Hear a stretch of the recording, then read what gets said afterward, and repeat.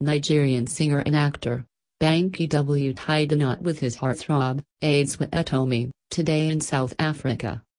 The lavish wedding had the likes of Skales, Ireti Doyle, Noble Ebuka Obi-Uchendu, Linda Ihuoma, Toolz, etc.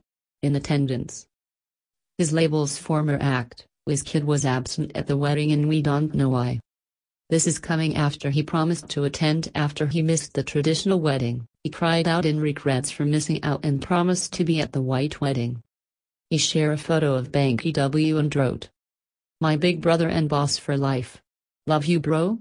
God bless your day. Lord knows how sad I'm missing this special day. We go rock church wedding, love forever.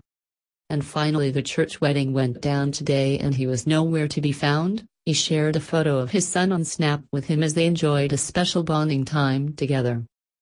Banky W is believed to be the man that made Wizkid, and Wizkid being absent at Banky W's weddings, speak tons about him.